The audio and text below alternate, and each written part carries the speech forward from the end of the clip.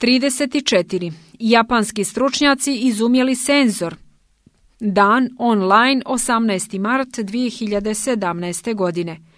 Otkriva emocije kućnih ljubimaca. Mnogi vlasnici pasa i mačaka misle da znaju kako se njihovi ljubimci osjećaju, ali bi u buduće ogrlica ili kaputić opremljeni senzorom mogli da im daju još podrobnije informacije o tome kako se osjećaju njihovi kućni ljubimci.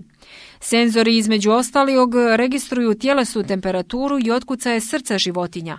Informaciju o tome da li je vaš ljubimac uzbuđen, opušten, razigran ili nervozan moći ćete da pročitate zahvaljujući aplikaciji na vašem pametnom telefonu.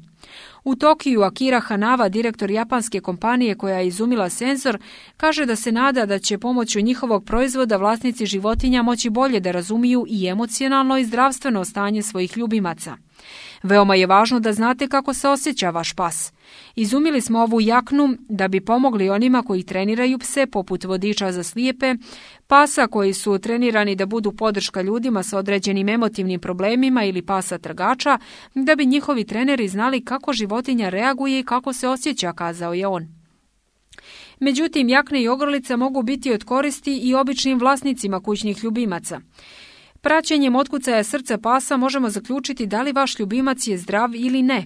Naš uređaj registruje otkucaje srca životinje što pomaže vlasnicima posebno starijih pasa i mačaka u održavanju njihovog zdravlja. Tehnologija bi mogla da koristi U ovoj praksi, kaže veterinar Atsushi Ogawa, razvojem takve vrste tehnologije ljudima bi bilo lakše da komuniciraju sa životinjama. Očekuje se da će se jakne i senzori za kućne ljubimce pojaviti u prodaji u maju ove godine.